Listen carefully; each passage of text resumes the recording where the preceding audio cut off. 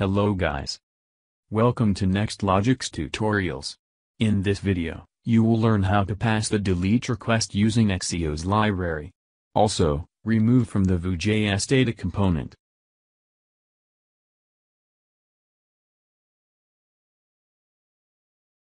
I am creating a method which we pass the user ID to delete this user.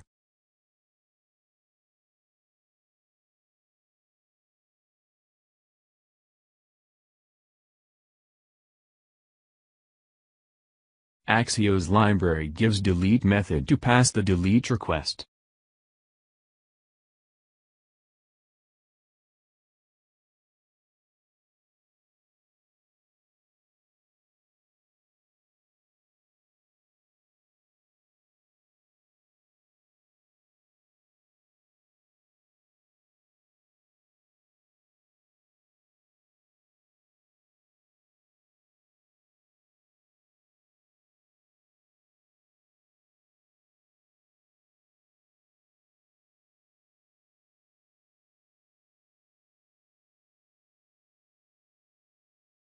Now I am creating an API to delete the user model related to given ID.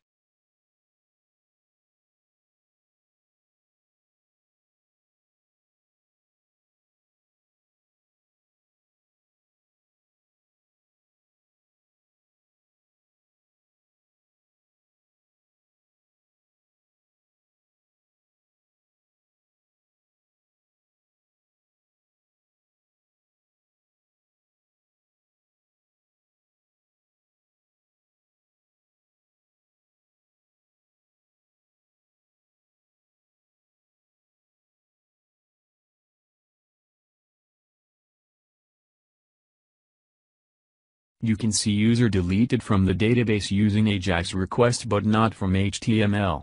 We need to remove the DOM HTML using splice function which we pass the index of the element.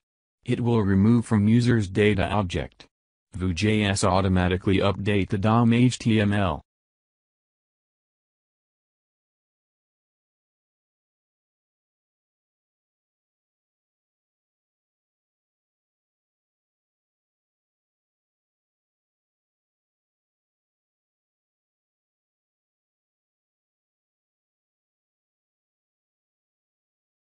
Thanks for watching this video. Don't forget to subscribe my channel and press bell icon to get latest uploads.